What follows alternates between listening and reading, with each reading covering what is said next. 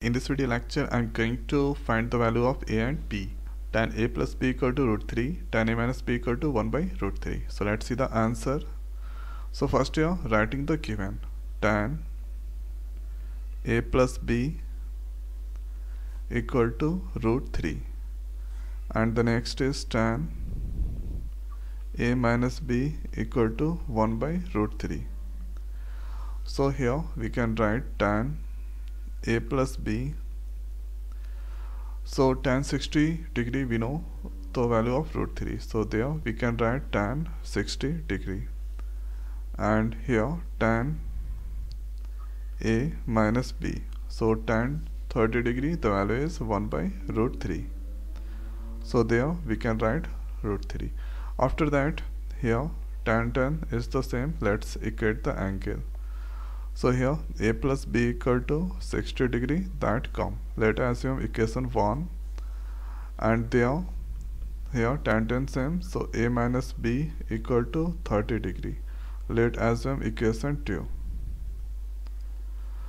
Now adding equation 1 and 2 then we can get the value of a. So writing here adding equation 1 and 2 so here we can write a plus b equal to 60 degree a minus b equal to 30 degree. So bb cancel here plus 2a equal to 90 a equal to 90 by 2 it cancel by 45 times. So here you can get a equal to 45 degree. So this a you can put in any equation. So writing here putting a value in equation 1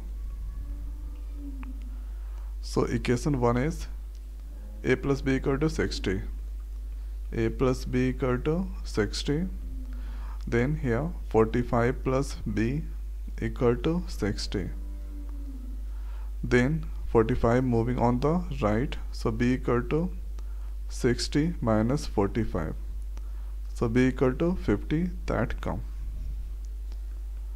So a value is now here 45 degree and b value is now 15 degree. So this is the answer of this question.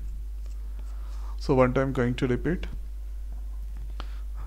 write the given and you should remember tan 60 the value is root 3 and tan 30 value is 1 by root 3 from there you can get a plus b a minus b.